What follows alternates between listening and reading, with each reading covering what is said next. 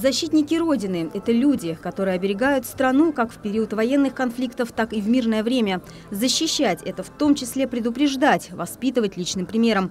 Ни одно поколение таких людей присутствует в зале Дворца культуры на праздничном концерте. Защитников Отечества принято поздравлять не только словами, но и, конечно, творческими номерами. Сегодня, в преддверии 23 февраля, здесь, в Центральном дворце культуры, организовали специальный концерт для всех представителей сильной половины человечества. Здесь не просто люди в форме, герои, ветераны. Они ценят этот праздник, который исторически очень важен для нашей страны. Это один из дней воинской славы, который мы используем для того, чтобы воспитывать наше молодое поколение, ходим по школам, молодежным организациям и говорим о том, что было как было и зачем надо защищать Отечество. И говорим так, Отечество надо любить, не спрашивая почему.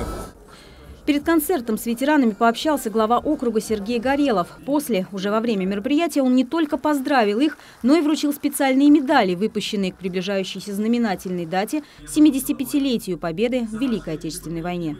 Искреннюю и вечную благодарность хотелось бы сегодня выразить людям, совершившим самый настоящий подвиг военной защиты Родины, нашим ветеранам. Они сегодня у нас на первых рядах.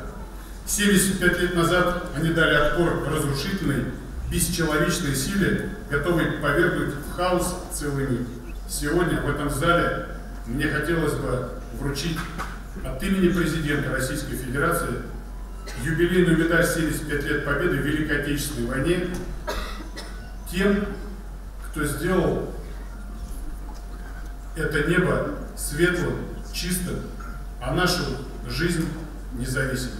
Это нашим ветеранам. Медали в руках героев, а в глазах вера в доброе будущее страны, которой они защищают. Лилия Тимиева, Сергей Василевский, Щелковское телевидение.